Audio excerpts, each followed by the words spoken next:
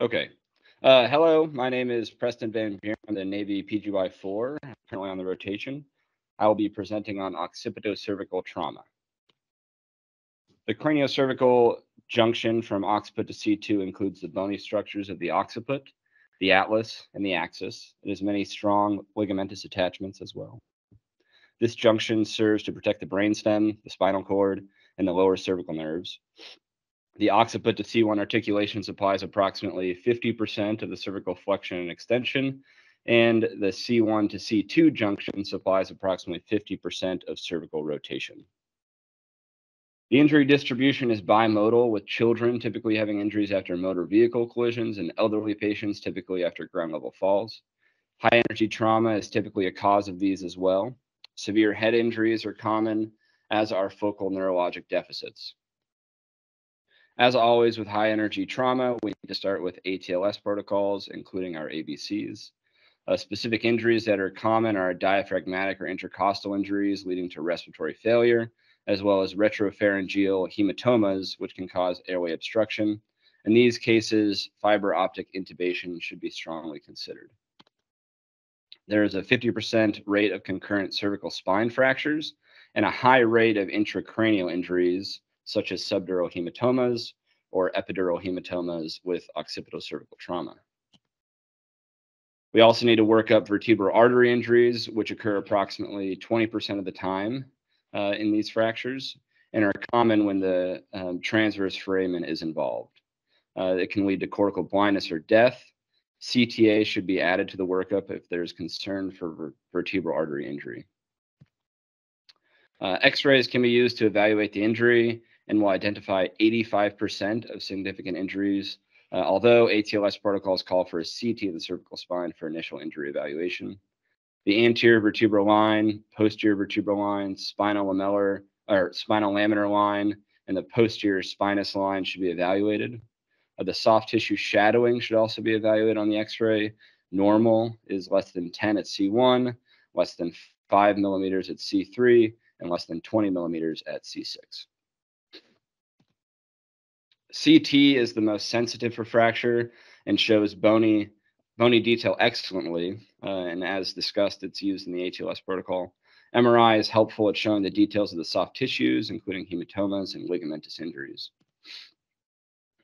Now moving to specific fractures, uh, starting at the occiput and moving down. Um, occipital con condyle fractures can vary in their clinical presentation from full quadriparesis to no deficits. There's about a 30% risk of both a lower cranial nerve injury and additional C-spine injuries with occipital condyle fractures. Like any fracture uh, in orthopedics, there's an associated classification system that hopes to guide treatment. Uh, this one is called the Anderson and Montesano classification of occipital condyle fractures, and there are three types. Type 1 fractures are impaction fractures. Uh, and for these injuries, if they are unilateral, they are stable. They are considered stable and can be treated in a, in a C collar. Um, if they're bilateral and the occiput to C1 alignment is well maintained, then non-operative treatment in a C collar can still be pursued. Type 2 occiput fractures are more extensive in nature, traveling farther into the occiput. However, these are usually stable as the tectorial and alar ligaments are typically still intact and thus can be treated in rigid orthosis. Um, if the occipital condyle is separated from the rest of the base of the skull, then you can consider using a halo for added support. Type 3 fractures are avulsion fractures of the alar ligament, which leads to medial displacement of that condyle fragment into the foramen magnum. Uh, these injuries are potentially unstable and can be treated in rigid orthosis or a halo, if there is malalignment or neurologic changes, then an occipitocervical fusion can be performed. Now, now we are going to move on to atlanto-occipital dislocations. Uh, children younger than 12 are at high risk for these given their flatter occipital condyles and larger head to body ratio. One thing to keep in mind given this is the use of pediatric backboards if acting as a team physician or on the front line somewhere. Uh, these backboards have a recess for the occiput, or they elevate the body above the level of the head to keep the head and neck from flexing forward. Uh, this is a common cause of death for children after motor vehicle collisions. 20% of patients who survive, though, will be neurologically intact, so about one in five. Evaluation typically shows large retropharyngeal soft tissue swelling, as you can see in this x-ray. Um, if this injury is suspected, uh, FlexX films are contraindicated. Uh, the powers ratio is what you would use to determine if a dislocation is present, as well as the direction of the dislocation. Normal is about one. Um, greater than one is an anterior dislocation, and much less than one uh, is considered a posterior dislocation. And the powers ratio is the distance measured from the tip of the basion to the posterior arch of C1 divided by the distance from the opisthion to the anterior arch of C1. The Harris rule of 12 is another measurement that can suggest dislocation. Uh, you measure the distance from the basion to the dens, as well as from the basion to the posterior axial line, uh, as uh, shown in this image. If either is greater than 12, then it suggests dislocation. The occipital condyle to C1 index is another way to diagnose instability, which is suggested if this number is greater than 4 millimeters. The three main types of dislocations are anterior or type 1, superior or type 2, and posterior or type 3, according to the Traynelis classification system. For types 1 and 3, the initial treatment is traction. For type 3, traction, uh, sorry, for type uh, 2, traction, wait, sorry, for 1 and 3, uh, traction should be used, but for type 2, which is a distraction injury, um, you should not use traction. So that's in incorrectly depicted on the slides. My apologies. Um, and then after you reduce, um, then you do an occipito-cervical fusion because these are quite unstable uh, with screws and plates uh, and rods as well as bone graft. All right, continuing to move down, we will now talk about atlas or C1 fractures. The mechanism for these injuries is typically axial loading. A neurologic injury is uncommon when atlas fractures are in isolation without concomitant occipital or other cervical fractures. The anterior and posterior arches are the weakest point of the C1 ring, and fractures often occur most commonly there. The transverse ligament is what drives treatment and stability in, in these injuries. Two measurements are described to determine the atlantoaxial instability on x-rays.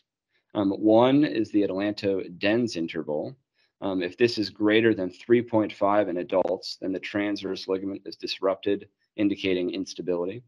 The sum of the lateral mass displacement is measured on the open mouth odontoid view.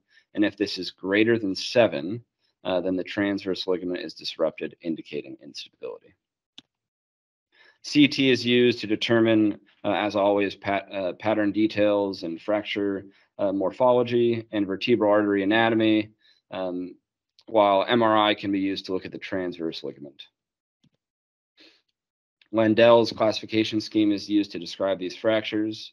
A type 1 fracture is an isolated anterior or posterior arch fracture, which results from axial loading in either flexion or extension.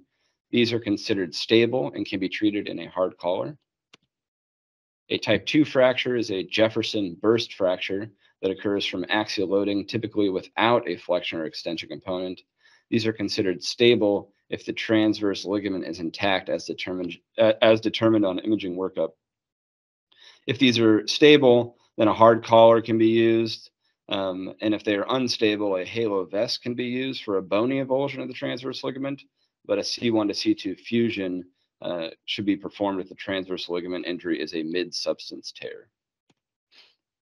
A type 3 fracture is a unilateral lateral mass fracture, and stability is again determined by the integrity of the transverse ligament. If these are uh, stable, uh, if the transverse ligament is stable, then again, a hard collar can be used. if they are unstable, a halo vest can be used for a bony avulsion or uh, a fusion if it's a mid-substance tear of the transverse ligament. Now, the Dickman classification of transverse ligament injuries essentially is broken up into two types. Uh, type 1s are A and B depicted here. These are mid-substance tears. Types, type 2s are C and D depicted here, which are bony avulsions. Similar to the treatment of fractures, If the ligament is disrupted mid-substance, then a C1 to C2 fusion is necessary, as the ligament really has no capacity to heal. Um, however, if it's an avulsion fracture of the ligament, then you can get some bone-to-bone healing, and this can be treated in immobilization. Continuing to move down, we will now discuss atlas or C2 fractures. Uh, these are quite complex, but we'll go over them um, briefly here. The classification scheme most commonly used is the Anderson and D'Alonzo classification. Type 1 fractures are just the tip and are treated in a rigid immobilization unless they are unstable on FlexX films after three months in a collar, then surgical treatment can be pursued. Type 2 fractures occur at the base of the dens and their treatment is variable. This is considered a watershed area of blood supply. Type 3 fractures travel into the body of C2 and are typically slightly caudal to the watershed area. These are prone to non-union if there's greater than 5 millimeters of displacement or if there's greater than 10 degrees of angulation. And if you have those parameters and the risk for non-union, you can treat with a fusion. Sometimes it can be difficult to tell type 2 and type 3 fractures apart. Uh, the distinction between them is determined on coronal plane imaging as opposed to sagittal plane imaging. Type 2 fractures do not enter the C1 C2 joint, whereas type 3 fractures extend into the C1 C2 articulation. Uh, type 2 fractures can further can be further broken down into the Grauer subclassification uh, based on displacement, obliquity, or combination of the fracture. Uh, 2A fractures are minimally displaced without combination and can be treated typically in a collar. Type 2B are displaced and they're amenable to an anterior den screw, meaning the fracture would be orthog orthogonal to a screw. Type 3B uh, fractures are comminuted or they are not amenable to a screw and therefore can be treated with a C1 to C2 fusion. And then you see that uh, den screw there in that x-ray image. Moving down, we'll talk about traumatic spondylolisthesis of C2. Uh, these result from hyperextension typically and lead to bilateral pars fractures, but rarely involve a neurologic injury. They are classified by the Levine Edwards classification, which we will now go through.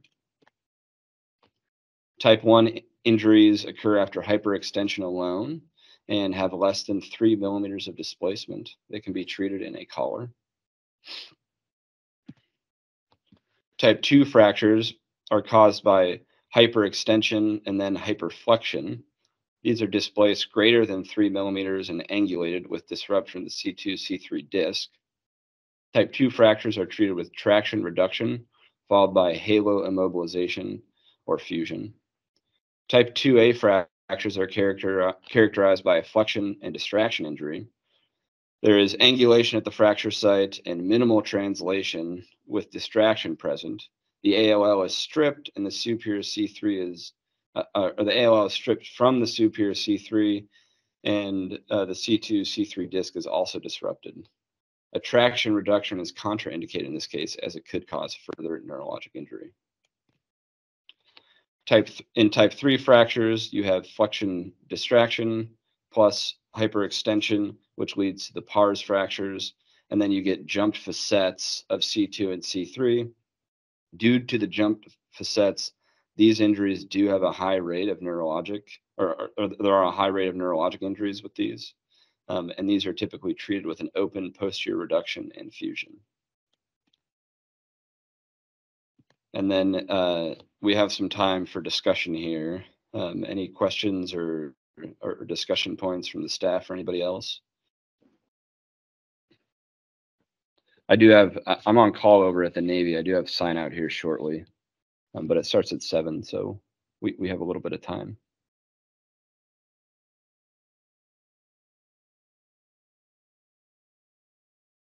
I think that was really good, Preston. There's a lot of um, different types of injuries that um, to kind of go through, but things that um, you'll see on your boards as well for and OIT and, and things that you'll see in real life for call. So I think that was really good.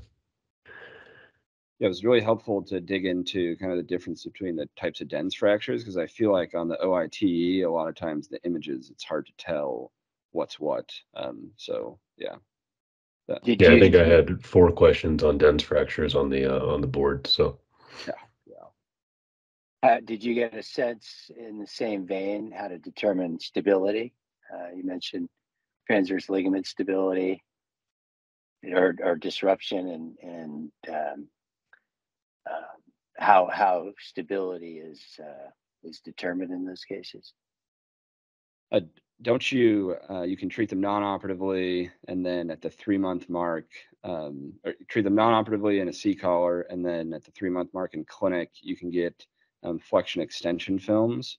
Um, and if it's mobile, it's uh, considered unstable. And so that would uh, lead you to do uh, operative management versus if it doesn't move, you continue with non-operative management. That was my understanding. That, but what, how do you define mobile? That's my, Um, if if it moves on your flexion extension films more than two is how much? Is it two? Is it five? Is it one centimeter? um, I think it's I think it's two, two millimeters. Uh, in the flexion extension plane? Uh, yes, sir. Mike, Dave? I think it's three millimeters, uh, but I'm not sure if that's different for the subaxial or for uh, the C2 um, area of the spine, like upper cervical. So you're using three from what? From the, Three from because that's what I came across in my uh, Degen Spondy literature search, but it seems like a lot that high up. that's probably not the number to use at the Atlanto axial or A, ADI. Right, Yeah. Uh, I think I think three and a half. Actually, I think uh, maybe three point five is stable or unstable, and then five is the number to fix. Well, if it if it's more than three point five, that is considered unstable. Like, but I guess the the if you have less than three point five and then it still is less than three point five at three months, you flex X films. If it moves to greater than three point five, then i- is that is is that what is considered unstable? Like, as in you're still using the same number that you kind of in, initially used?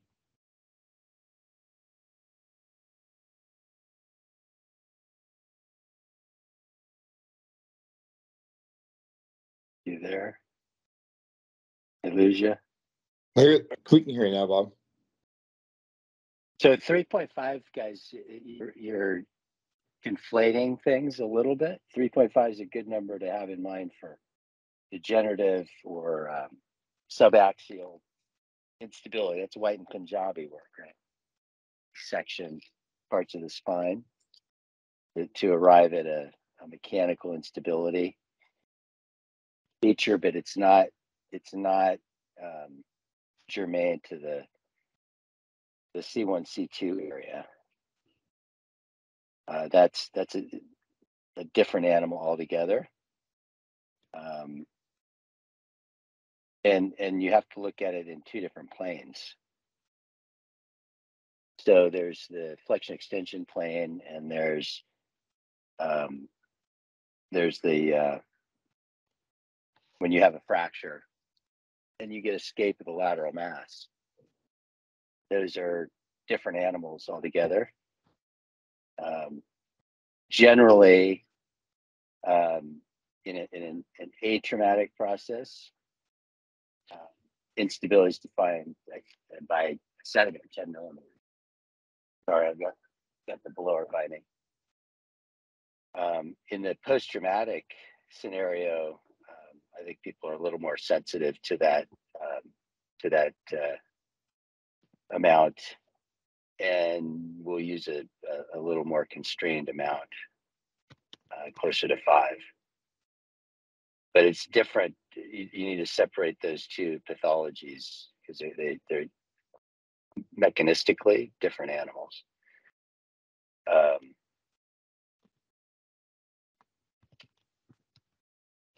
And you also have to be sensitive to the canal dimensions, right? I mean, that, that those vary too, but uh, you, the five and ten millimeters are more germane for that level. And then if you have, if you're looking at a coronal and you're looking at the transverse ligament and escape of the lateral mass, that that's uh, seven to eight millimeters, more than seven and a half, I believe, is uh, is concerning. So those are the patients that you want to think about fixing. So it's a three-dimensional issue up there, um, dependent on both ligamentous and bony failure, and you have to look at it in a biplanar way, but different numbers. So you may get you may get buzzed on that on the OIT or the boards. Um, you know, they're not just going to want to know that you know unstable gets treated and stable gets treated. They, you, you're going to have to determine why you think it's unstable or give metrics on it. Yes, sir. Thank you. Yeah, Preston, great job. They always show that coronal shot of C12 for the transverse ligament injury. That's a pretty classic question on the OITE. So seems like you'll be well prepared to answer that question. And just to, just to reiterate, you know, three point five is when you start at, with flexion extension is where you start worrying about instability, right? If it's more than seven, then it's usually the alar ligaments out. And if it's more than 10, then you're going to fix them. Those are sort of the three things to remember. And the other nice thing in the cervical spine that they did for us is that they kind of kept things at 3.5. So if you look at your coronal views, you know, if you have one lateral mass offset by 3.5, that's an issue, or the total being seven. So if you just remember it that way, you actually only have to remember, you know, one one number, so to speak, right? 3.5. Yes, that makes sense. 3.57 and then a centimeter for absolute indication for surgery. But like Bob said, there's a lot more that goes into it. Those that's assuming a two dimensional view. But you you know we have the the the, the uh, luxury of now seeing clinically at least we see things all in 3D and you can you can uh, treat based off that. Yes, sir. Awesome. Um, Thanks, Preston. Thanks, Preston. thanks, Yeah, great Preston. job, Preston. You all have a good day.